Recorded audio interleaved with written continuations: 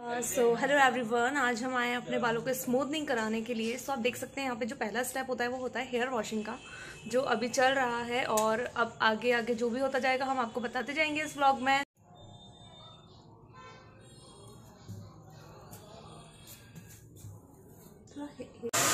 अभी बालों का ब्लो ड्रायर हो रहा है। अच्छी तरह से वॉश करने के बाद जो ये सेकंड स्टेप आती है। और यहाँ पर मेरे बालों की हालत बहुत खतरनाक हो रही है अभी। आप देख सकते हैं, बहुत सारे स्प्लीटेंस प्लस बीच बीच में ब्रेकेज हेयर्स हैं तो जो आपके शैम्पू जो सेकेंड प्रोसीजर है हमारा, वो है ब्लो ड्रायर का।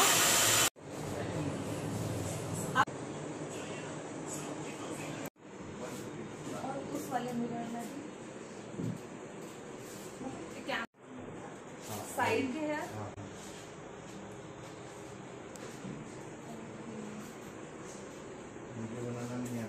So here I'm having a cup of coffee.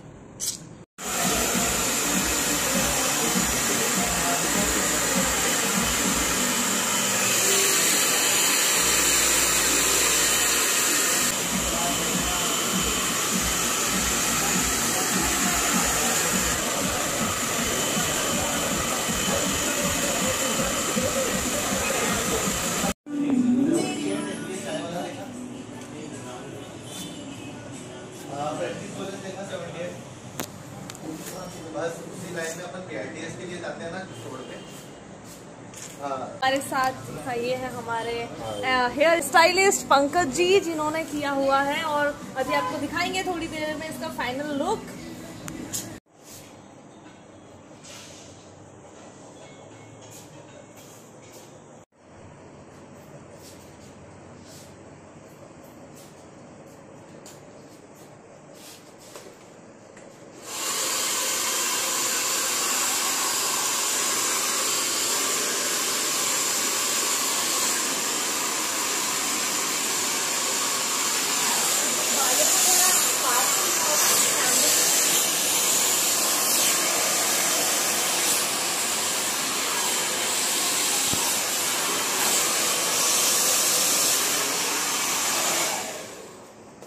Everyone आज मैं आई हुई हूँ ग्लोरियस सलून में। मैंने अपने बालों की स्मूथनिंग कराई है और यहाँ पे है स्टाइलिस्ट पंकज जी।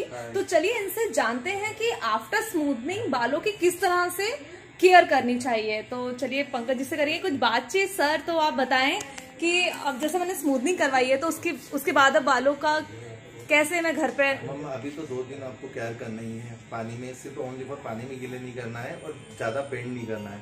बाकी फिर मैं शैम्पू वगैरह जो आपको सजेशन दूँगा, वो यूज़ करना है प्रॉपर तरीके से। अल्टरनेट पे अगर वॉश करते हो तो आपका हेयरफॉल नहीं होगा, क्योंकि आप जो योगा क्लास लेते हो तो आपको स्वेट वगैरह होता है, इसलिए वो डेंटर वगैरह होता है उसके कारण आपको हेयरफॉल होता तो जैसा कि आपने सुना कि अभी हमको पंकज जी ने एक बहुत इंपॉर्टेंट बात बताई है कि आपके बालों में पसीना आने की वजह से जो डैंड्रफ बनता है काफ़ी सारा धूल मिट्टी वगैरह भी वगैरह स्वेट वगैरह जो भी रहता हाँ है। उसके कारण अपना जो अपना टेक्चर मतलब हेयर का जो हेयर से हेयर फॉल होना है वो स्टार्ट हो जाता है। हाँ। उसके कारण जैसे कि स्कैल्प अगर क्लीन नहीं रहेगा ना तो आपका हेयर फॉल होना ज़रूरी है। तो आपने सुना ये कितनी इंपॉर्टेंट बात बताइए कि बेसिकली लोगों को पता नहीं होता है कि आपका अगर स्कैल्प साफ़ नहीं है अगर धूल मिट्टी है और पसीना अगर आप सूख जाता है आप प्रॉपर हेयर वॉश या प्रॉपर हेयर की केयर नहीं करते हो प्रॉपर शैम्पू कंडीशनर स्पा के साथ तो आपको हेयर फॉल होता है। तो इसकी कंडीशनर भी स्कैल्प पे यूज़ नहीं करना है only for length hmm. Ear section two and section only okay और मास्क वगैरह अगर आप यूज़ कर रहे हो तो वो बहुत अच्छी बात है। मास्क वगैरह अगर स्कैल्प पर भी लगता है तो कोई प्रॉब्लम नहीं और मास्क हमें कितने समय में करना चाहिए? मास्क तो हर शैम्पू के साथ मास्क करना है।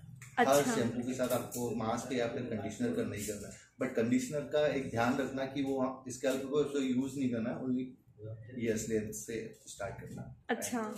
और आजकल जो जैसे हेयर सीरम वगैरह लगाए जाते हैं तो हेयर सीरम में भी बहुत प्रकार बहुत मतलब अलग अलग टाइप के रहते हैं। अगर आप non sticky hair serum use करते हैं जैसे कोई सा भी ब्रांड हो जैसे कि मैट्रिक्स हो गया लोरियल हो गया वेला या सोच को एनी वे कोई सा भी आप यूज़ कर सकते हो। बट उसके रिज़ल्ट बहुत अच्छे हैं। आपको हीट से प्रोटेक्शन देगा प्लस में आपको डस्ट वगैरह जो भी सब अच्छा मतलब हमको हेयर वॉश करके ड्राई करने के बाद हेयर सीरम अप्लाई पहले भी यूज़ करना और बाद में भी। अगर आप ड्राई कर रहे हो उस टाइम पे भी आपको सीरम यूज़ करके ही ड्राई करना है।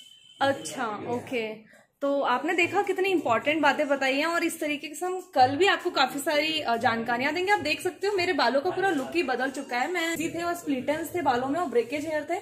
जो पूरे चेंज हो चुके हैं। तो आप देखते हो ना जिस तरह से हम ड्रेसअप करते हैं जिस तरह से हम तैयार होते हैं मेकअप करते हैं तो without your hair hair look without your perfect hair look your look is not complete जैसा कहा जाता है। और इनके सैलून पे एक बहुत इंपॉर्टेंट चीज़ वहाँ पे लिखी जो मैंने देखी थी life is perfect but your hair can be yes जैसे आप देख सकते हैं life is not perfect but your hair can be तो यहाँ पे ये style not perfect but your hair can be तो कराओ वराओ थोड़ा सा लाइफ में कुछ चेंज लाओ, कि हम कितना भी ज़्यादा रेडी क्यों ना हो जाए, कितना भी मेकअप ड्रेसिंग सब कुछ क्यों ना कर लें but without your hair look your look is not complete so मेरे ख्याल से सभी को कराना चाहिए एक बार लाइफ में। अगर आपको रिक्वायरमेंट है तो तो अपने हेयर स्टाइलिस्ट से पूछें, उसके बाद आपके बालों के टेक्सचर के अकॉर्डिंग आपको जो वो सजेशन दें, आप वो करो, बालों की केयर करो, क्योंकि देखो यार 50 टू 60 परसेंट लुक ना, इसी का होता है।